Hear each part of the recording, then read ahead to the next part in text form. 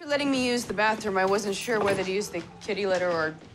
What are you doing? Trying to get the hell out of here. They're trying to kill me. Wow, you did just stiff a bookie. Not them.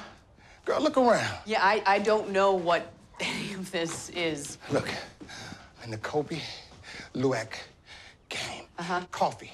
These cages are supposed to be filled- filled with these civet cats from Indonesia. What they do is they they they swallow these little coffee cherries and then they and then they poo-poo out this little old bean worth about five hundred dollars a pour. Okay, I can't believe I'm asking this, but you, you sold your family's home to invest in uh, uh, Quapi No, no, Llama. no. Kopi Luwak coffee. Look here, girl. Scared money don't make money. And my cats, well, they got held up in customs, all right? Look, I, I, I, I'm not great with paperwork. I'm, I'm what you would call more of a, a macro guy.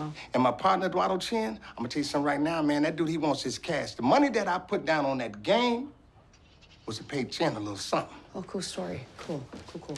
Um, but you can't go because if you're a no-show for the summons, you're gonna go to jail. Jail?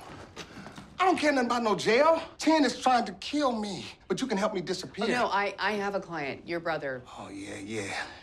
I can imagine the lies you done heard from Tone. Well, it looks like he hit the nail on the head. Listen, that boy has been dogging me since we were kids. You don't understand. Okay, I'm not in the family mending business, but you guys should really get in the room and just kind of talk things out. No, no. What I need to do is get out of town. They're trying to kill me. Okay.